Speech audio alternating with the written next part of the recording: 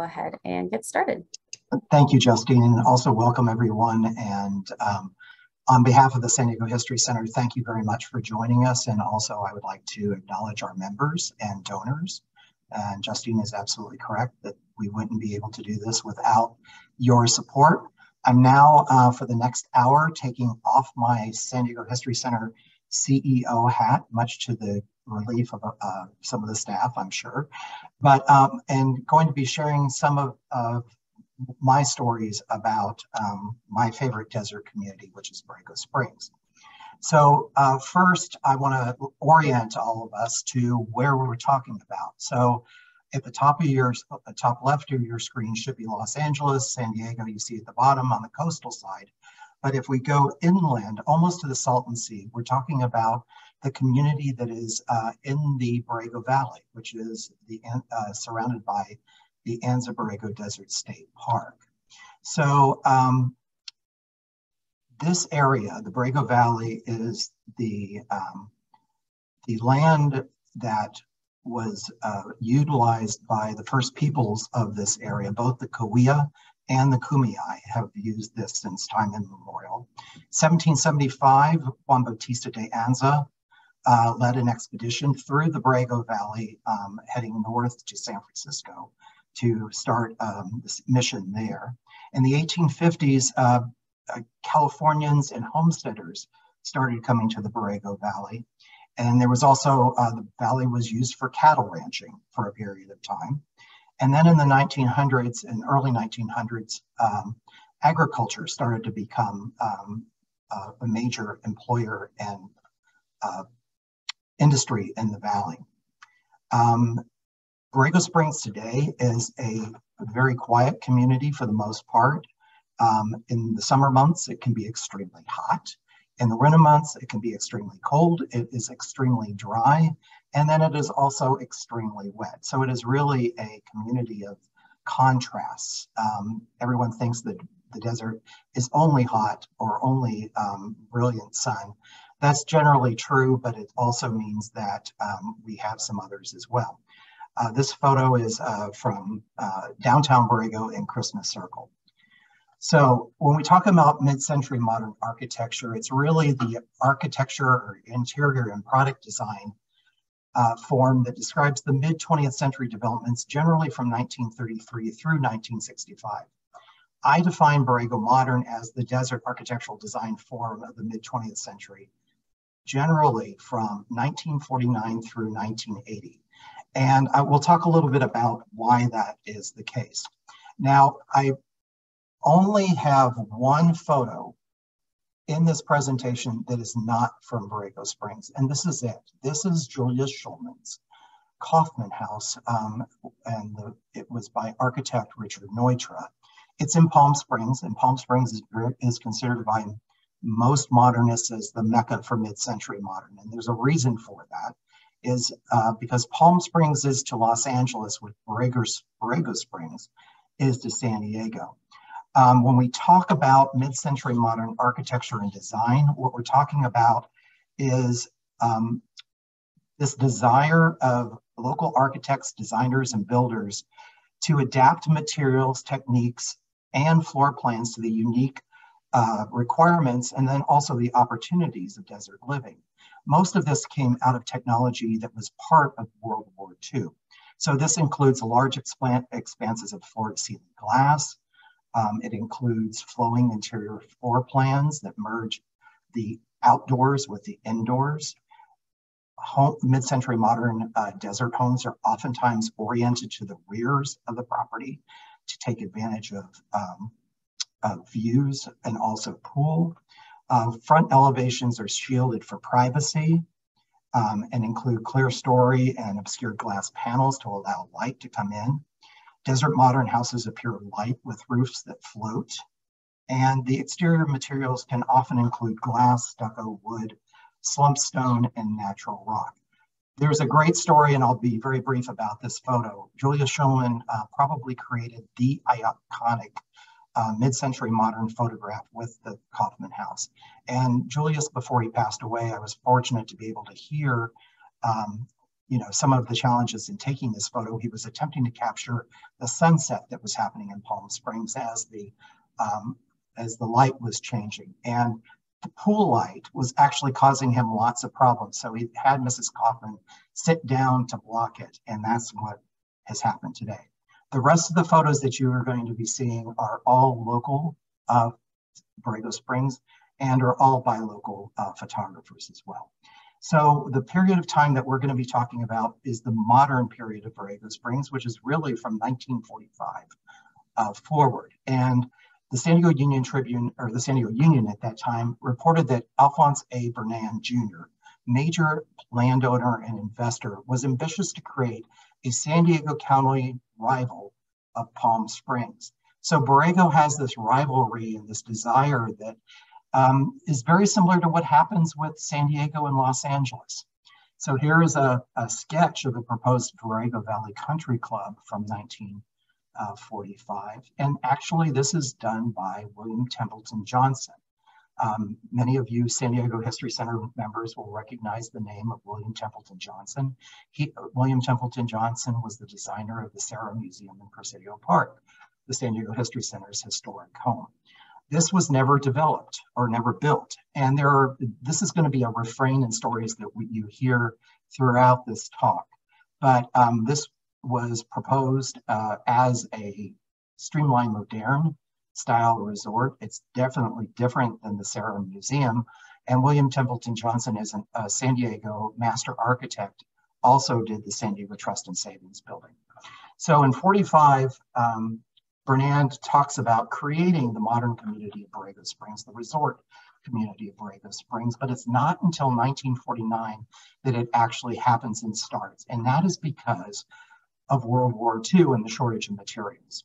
So in 1949, we have the William, uh, William Templeton Johnson that was proposed in 45, but in 1949, William Kesling, a developer first from Los Angeles who comes to San Diego, who has a practice in La Jolla, is hired by Burnand to do two buildings in Borrego Springs. First is the Desert Club, which replaces the William Templeton design, and Borrego Business Building.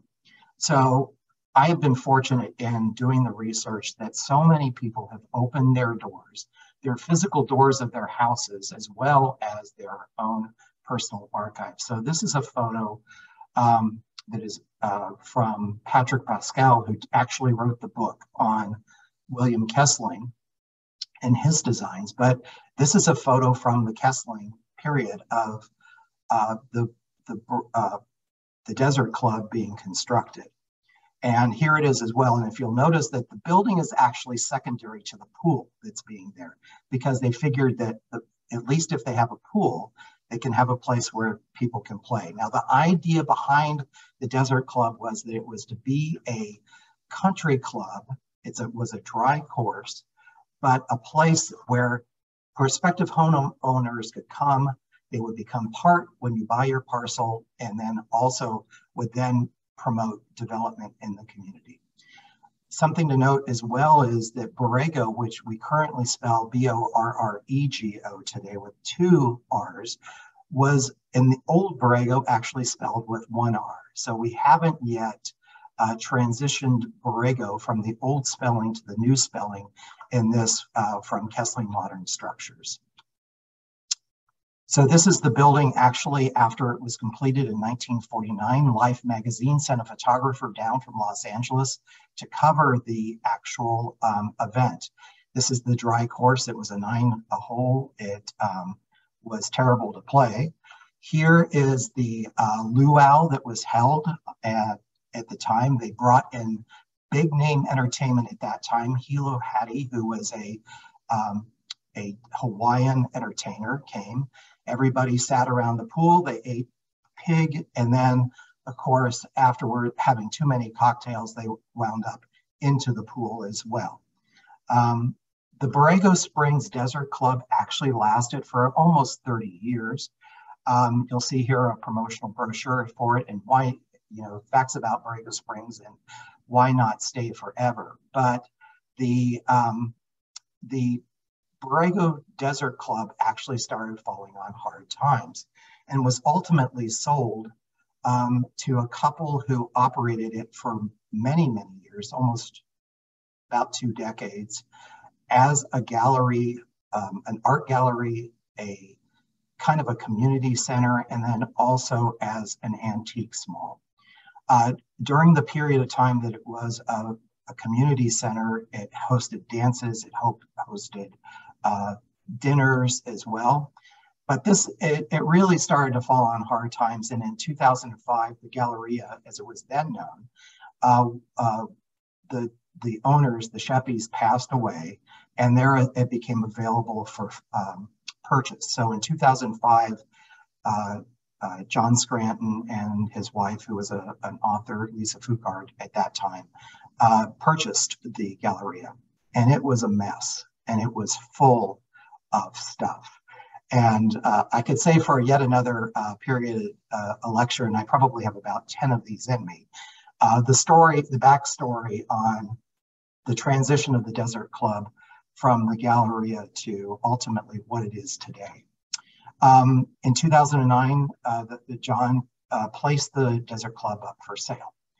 He had made a significant investment in it and but wanted to move on and do other things in 2009, it was purchased uh, by the University of California at Irvine and the Regents uh, through a very generous gift by Audrey Steele Burnand. And she is a, she was, she is no longer with us, but a relative of the of um, Alphonse A. Burnand by marriage. And she um, gave the university a gift of over $600,000 to purchase this property because it was so important to the community and had such history in the community. Um, this is the pool um, at the time it was sold. And I want to harken back just for a moment to when it first opened. There was a fashion show that was done at the Desert Club uh, as part of the festivities. Um, in 2008, uh, Versace chose uh, Borrego Springs and the Desert Club for uh, its photo shoot. And this is Gisele Bündchen, who is the wife of Tom Brady, uh, uh, showing off Versace jeans there.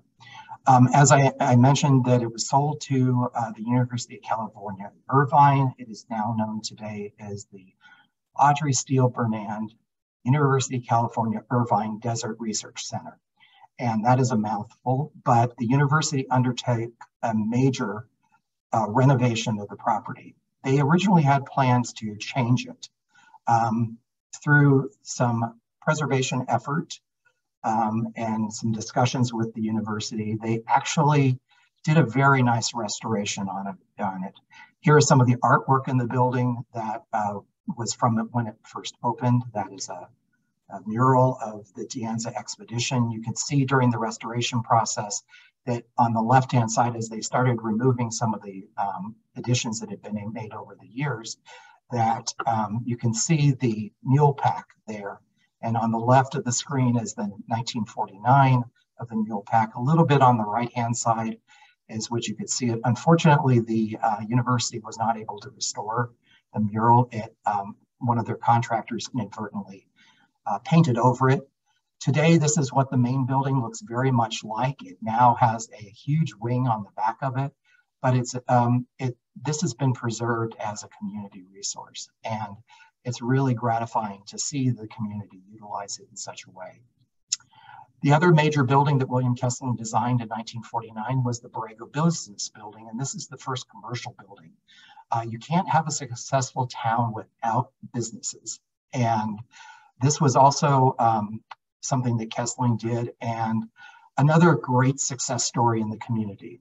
Um, it operated for many, many years as the Hugh, Hugh Woods Food Market. In um, about 2005, it was purchased by the then owner of Rams Hill and also Casa del Zorro Resort, which many people will recognize in San Diego. But um, and then really was uh, uh, left vacant for almost a full decade. I think it wasn't probably a full decade.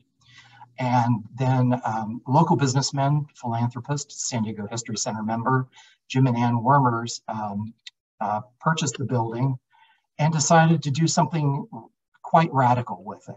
They in, were investing in the art community by creating uh, and restoring this building to become the Borrego Art Institute, what it is today. I first met um, Richard Oren, who was the architect for this project, by doing research on Richard Zerbe, who is a Borrego Springs architect that I'll talk a little bit about later. And one of the things that you're going to find about me is I'm thrilled and I get excited about architectural plans. We didn't know that these existed. This was, these are the original architectural plans for the Borrego Business Building by William Kesling.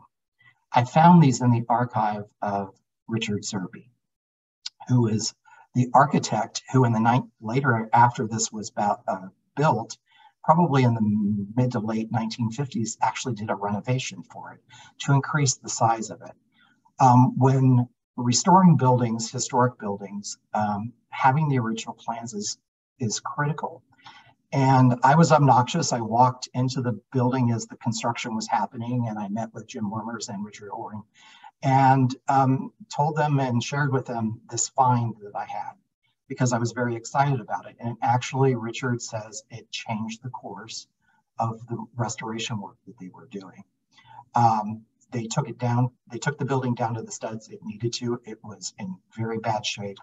But this, the um, renovation and the restoration that has been done is phenomenal. And it's reopened today as the Borrego Art Institute, a nonprofit um, art institute in the Borrego Springs community.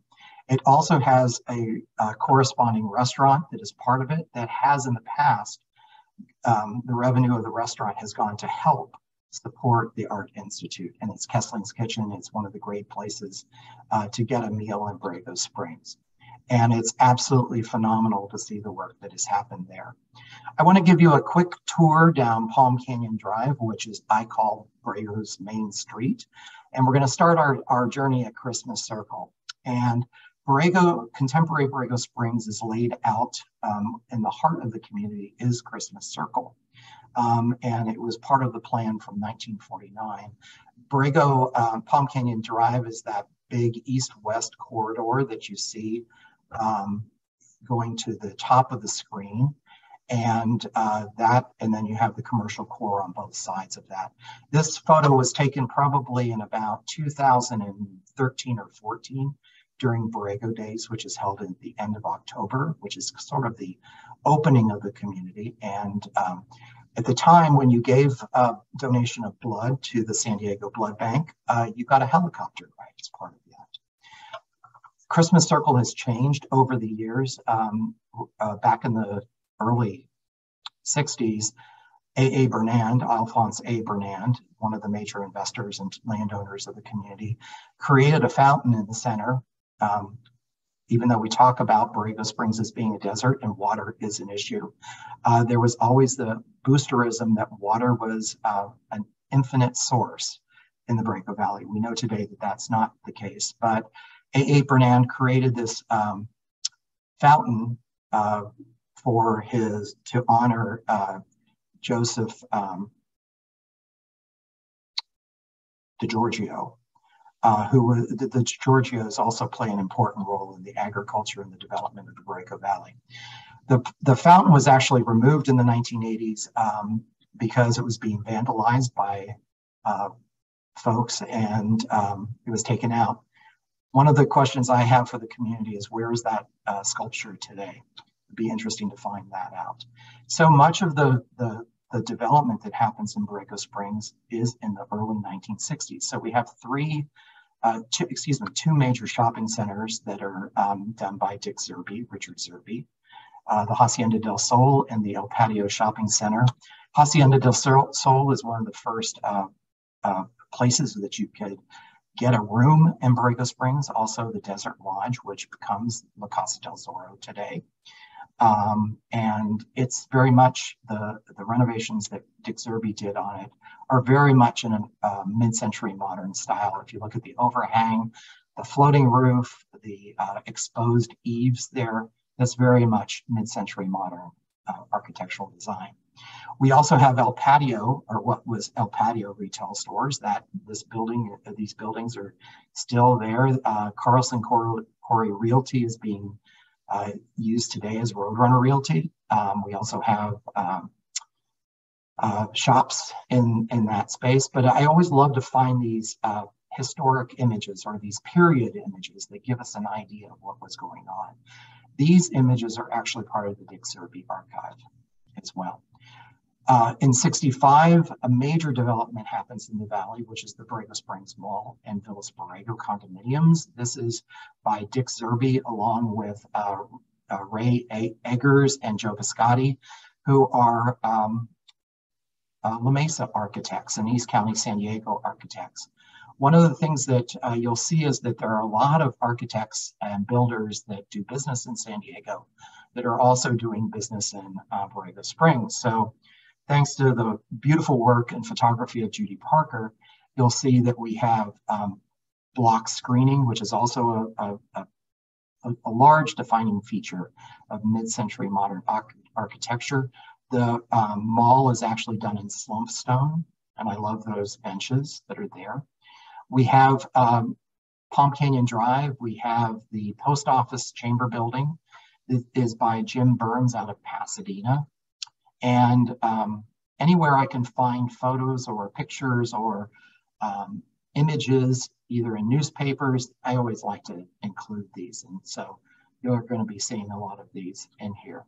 This is a building that is done by uh, Hal Martinet. It looks like it's spelled Martinez, but it's uh, actually pronounced Martin A as part of it. And um, we're going to see a change that happens in the Borrego Valley from the development team through Baker Marlowe and um, DiGiorgio and Burnand, and we'll see some San Diegans that come into the picture as well. This is the Anza Borrego Desert Natural History Center um, now owns this building and uses this as their offices, education center, and their store. One of my favorite places in Borrego Springs, and there's a great story behind this, is the Borrego Palms Resort, or the Palms uh, Indian Head, as it's known today. This was originally Hoburg's resort, and in 1958, it burned to the ground.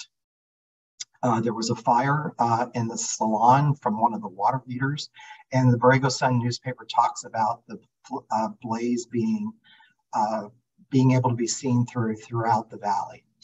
And it was rebuilt and reopened. But there's a great mystery in the community is um, regardless of, we don't know who the architect is of this structure. Um, there are some theories, but all of them have not been proven. And I tend to ignore theories unless I'm able to find some good um, uh, information that uh, supports those theories of, of, who did the work. So beautiful staircase inside the um, palms at Indian Head. This is still a place that you can go to. You can check into the, um, the uh, not the Red Ocotillo, but the um, Coyote Cafe is here.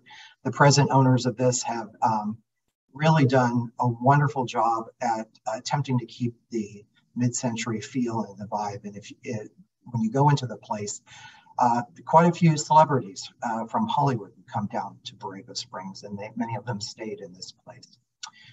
Borrego Springs Park in 1963 um, is the work of Henry Hester and Robert Jones. Henry Hester is a modernist um, architect based here in San Diego. Um, if you walk across the bridge, the Korea Bridge from Balboa Park to 6th Avenue, the Solomon Apartments are the work of Henry Hester.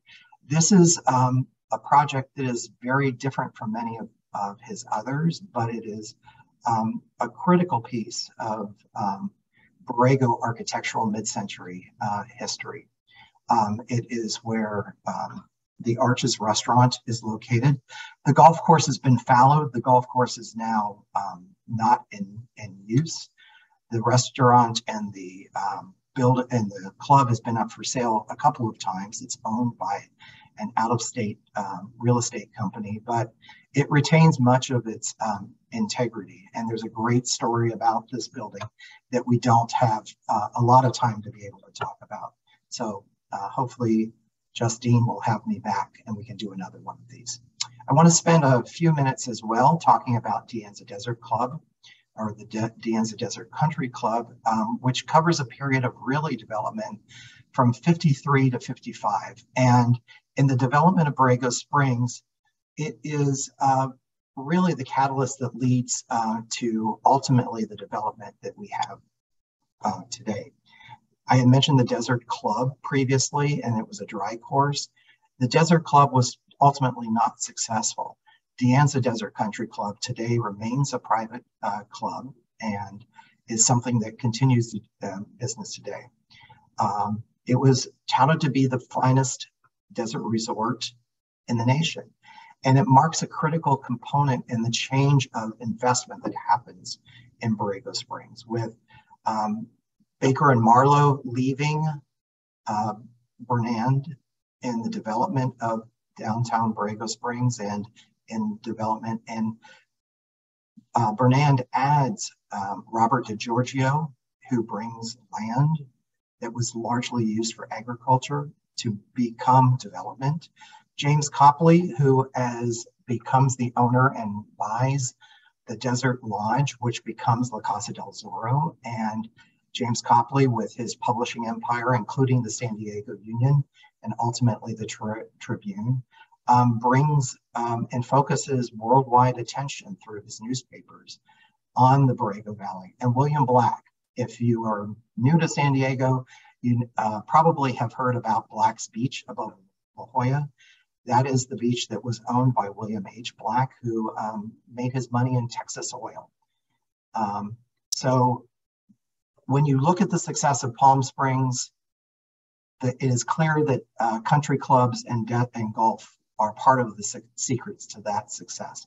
And so that's what Burnand wanted to model here in, um, in Borrego Springs. And actually what Burnand did was he hired initially the same people who did perhaps the most famous and initially um, successful golf course in um, Palm Springs, which is the Thunderbird. And so uh, there are initially, um, Burnand hires Lawrence Hughes to design the course, initially a nine hole course that expands to 18 holes, and then William Cody to do the architectural design.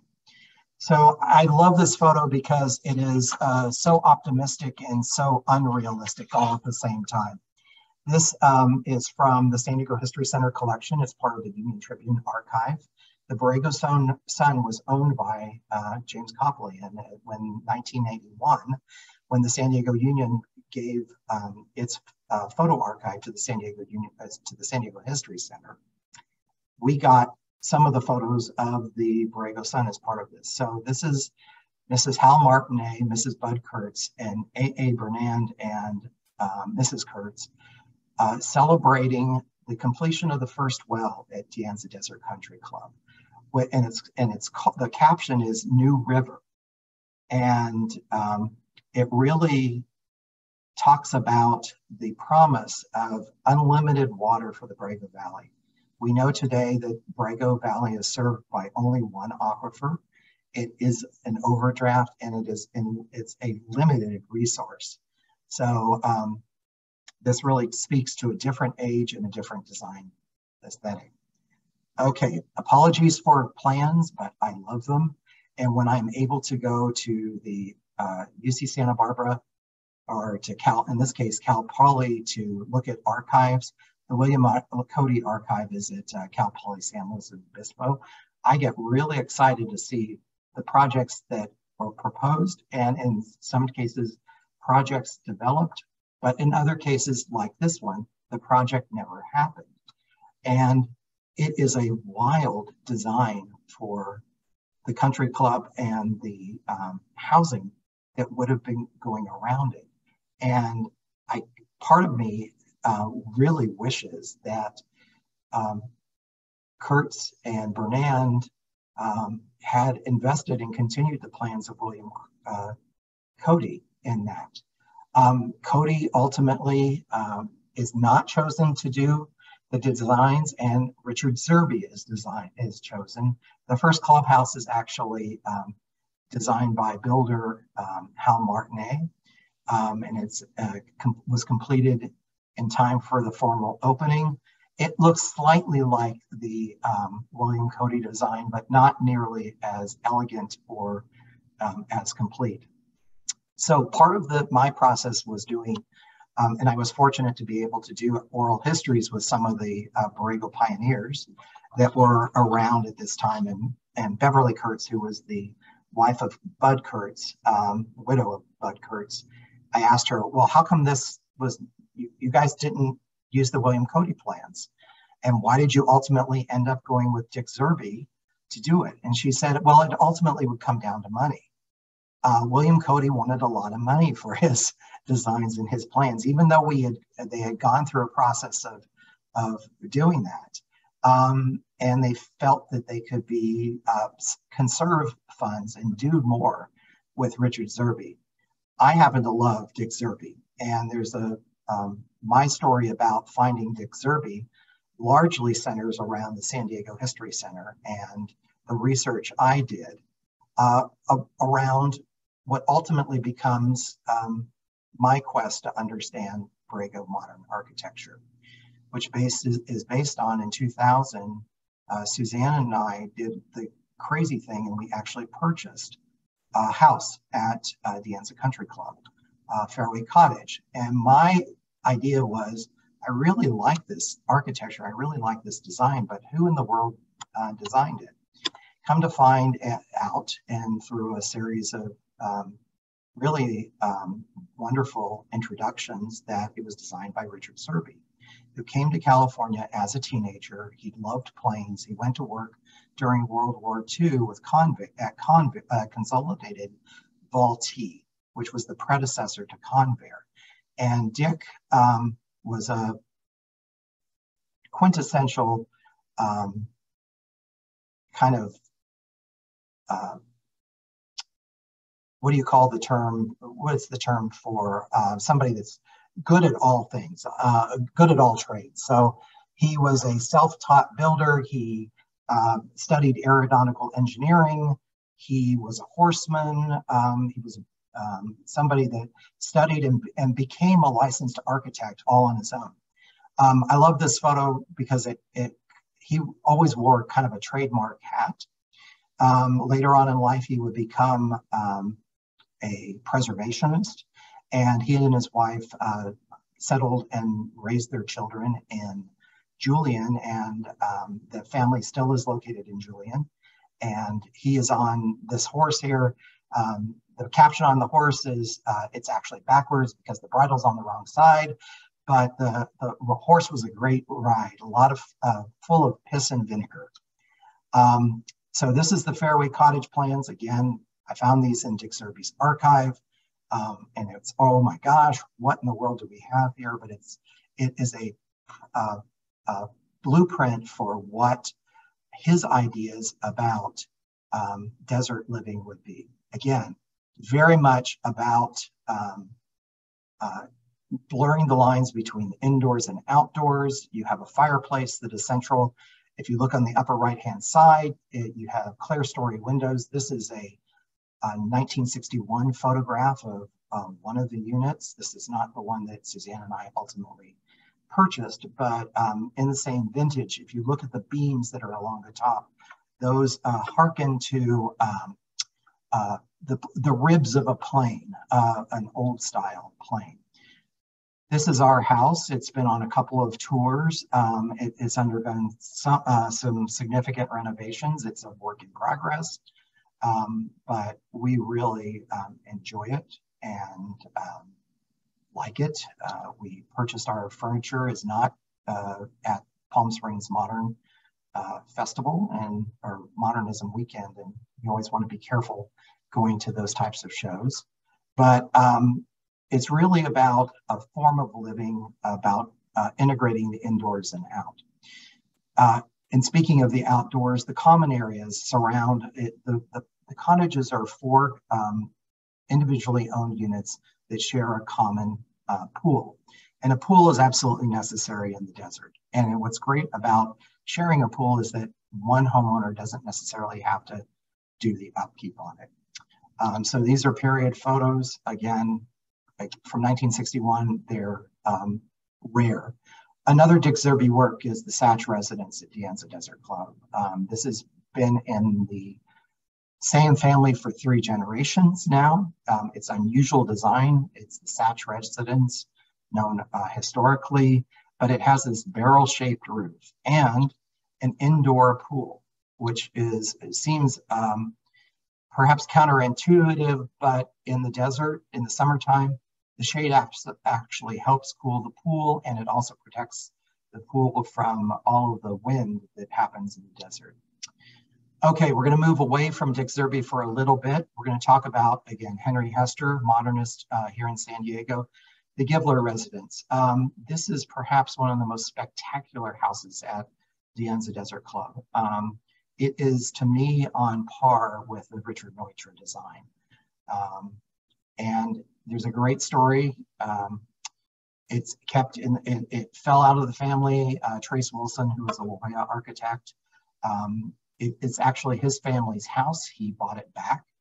Um, the, the sketch was done between his uh, grandfather and uh, Henry Hester over cocktails at the La Casa del Zorro bar. And it is beautifully furnished today. It is um, sits on the golf course. It does not have a pool, which is unusual, but it has the green of the golf course is acting as its um, area. Um, also at De Anza, and I kind of consider De Anza and De Anza Country Club and De Anza Drive as our um, mo modern mile of uh, architecture is the DiGiorgio residence, 1958. Um, and this is by a work that I had, uh, architect I had never heard of before, which is Leo Raffaelli um, who did several projects for the DiGiorgio Fruit Company. Um, initially, and this is a good example of how uh, history, as we do more research, we learn more. Um, this project was initially identified by a, a Borrego Sun article as being the work of William Cody. And I incorrectly attributed it. But in looking through the History Center archive and the photo archives particularly, found the uncropped photo and found Leo Raffaelli, architect, on it. Um, it is a, a, spectacular property. This rock wall pierces the building uh, facade and goes inside and um, is part of the fireplace as well. William Krisel, known um, as one of the premier architects uh, in Palm Springs, actually comes to San Diego and Borrego Springs and creates um, uh, the Borrego Golf Club Annex. Six um, houses that are built at the time cost $20,500. Um, one of them just sold that had been uh, extensively renovated for what was it, I think, over the neighborhood of 300, high 300,000s. Uh, highly prized, this one won a um, Soho People and Preservation Award for its um, sensitive restoration by uh, Todd Pittman and Carmen Foley. Um, when we talk about San Diego architects and particularly architects who define, define a genre, Cliff May is at that top of that list who is credited with being the father of the modern ranch house. And there are three projects in Borrego Springs, two that were built, one that never was. The, the 1948 Montgomery residence that you're seeing um, renderings for here was never built. And there's uh, actually uh, Montgomery uh, takes off and stiffs Cliff May, and there's correspondence in the file about Cliff May trying to get um, his money out of Montgomery, um, and never does. 1949, this project is um, is built, and it's actually featured in um, a national magazine as the the the ideal of desert living. This is the, uh, the, the, the, last project that Cliff May did in uh, Borrego Springs. It's the Daniels residence. And Harry Daniels was the founder of the Anza Borrego Desert Natural History Association. And the current owners of it have done an amazing job of restoring it and preserving it. Um, it's the last project, or one of the last projects that Cliff May designed. And Cliff May spent significant time with the Daniels, specifically um, uh, researching the lot.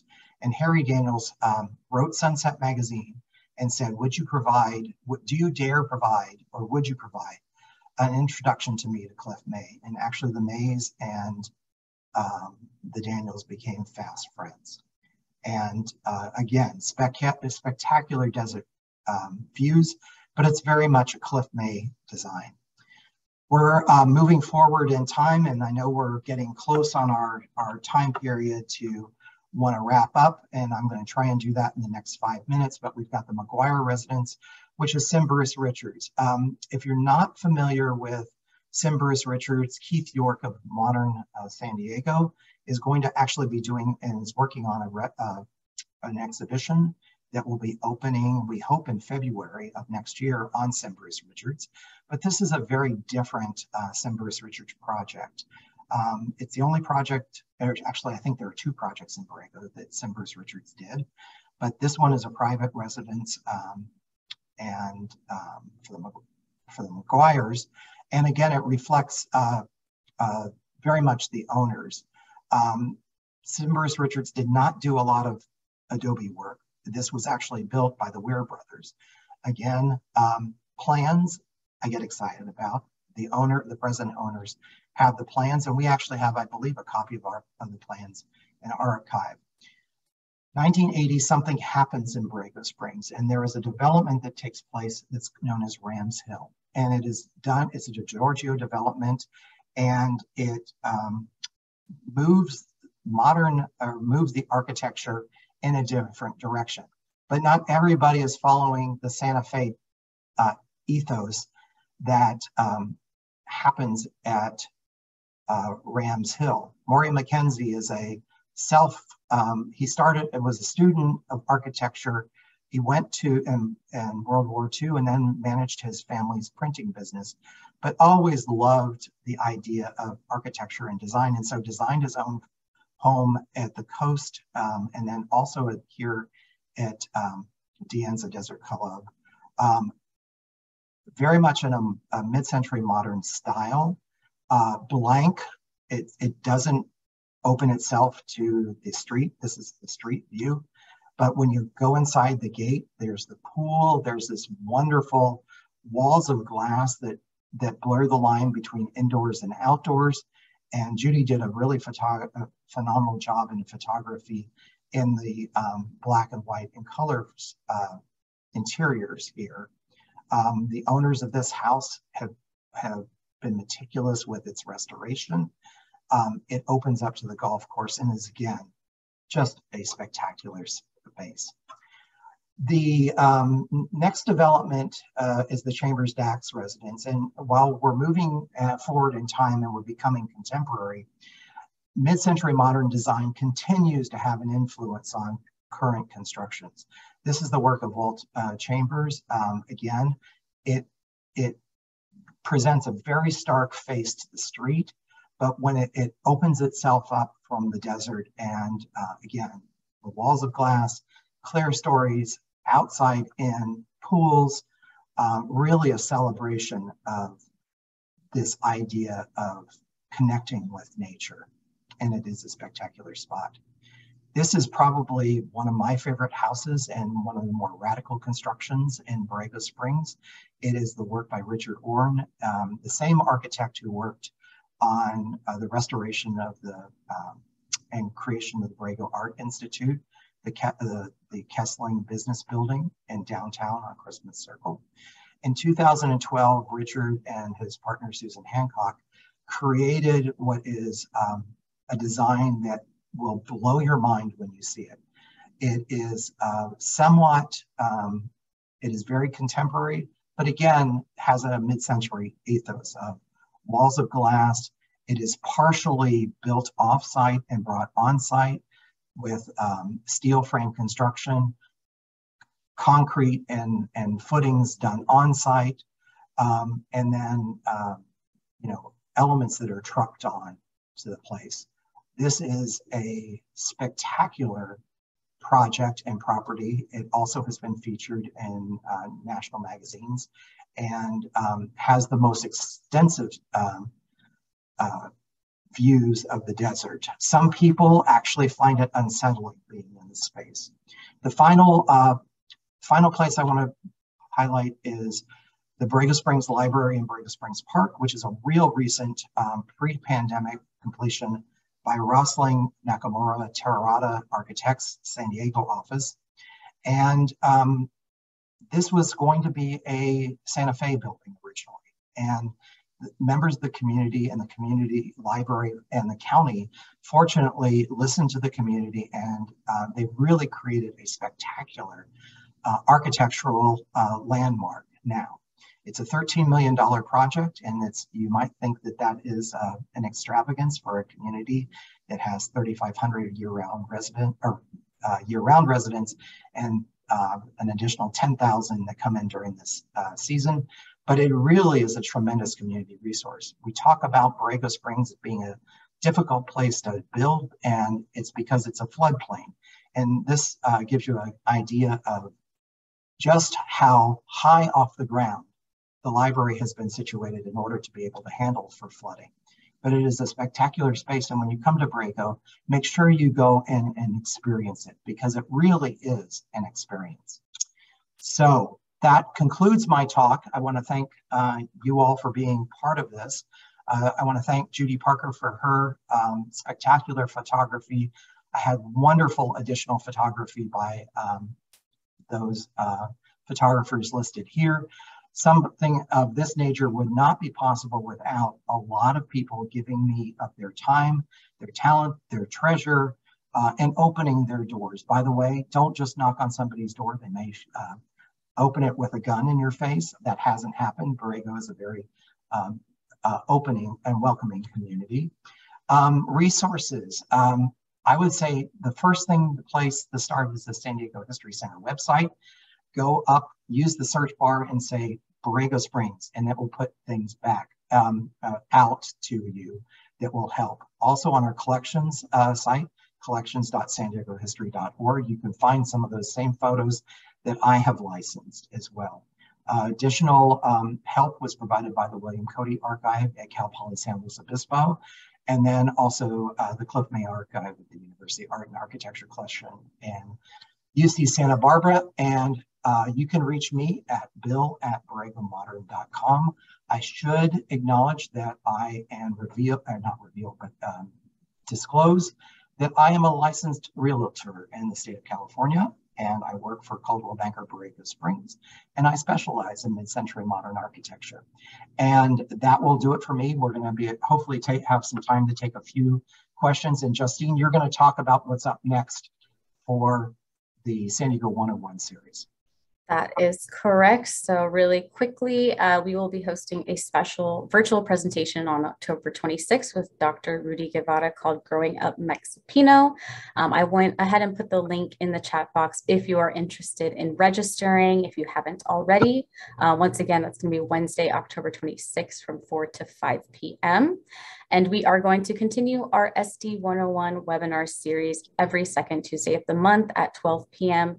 Please join us next month, November 15th, for SD 101 Changing the Narrative and Developing the Next Generation of Historians. Um, please look for our emails to be able to register for that event.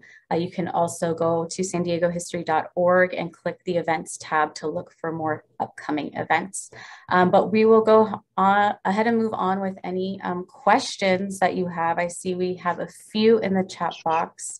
Um, Justine, I, I would like to add just with the uh, Dr. Guevara's talk, that will not be recorded. So make sure that you actually plan to be here for that.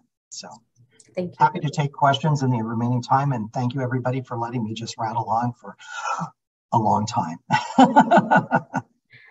All right, so our first question um, from Linda, were there any overlapping of architects in Palm Springs Modern and Borrego Springs? Yes, absolutely. William Cody um, is one.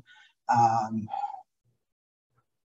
there are a few that I, I should I should know, but um, they, they practiced. Uh, William Cody is, uh, I, am sorry, William Cody and Bill Kesling. Bill Kesling is probably the the most famous of all of them, and actually it used to be that we would market those as um, Alexander homes, uh, and my colleagues in the real estate industry would do that.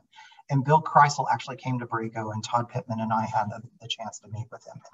he said that he actually, um, no, these are original designs for Borrego Springs. So don't market them as Alexander homes. And um, I've always, uh, part of me is uh, boosterism around San Diego and uh, Borrego Springs. So I like to claim local whenever we can. So Bill Krisel is a local architect. Thank you, Bill.